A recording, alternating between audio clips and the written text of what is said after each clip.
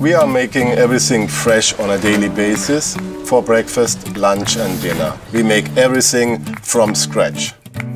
I was very interested as a teenager already in all kinds of kitchen work, especially in baking. I was mostly the person who helped the mother in the kitchen.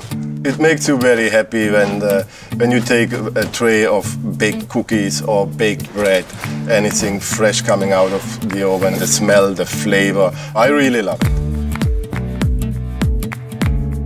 We want to make sure that our guest is getting the best and freshest bread on board our ships. When the guests get the bread warm on the table, it's just fresh out of the oven.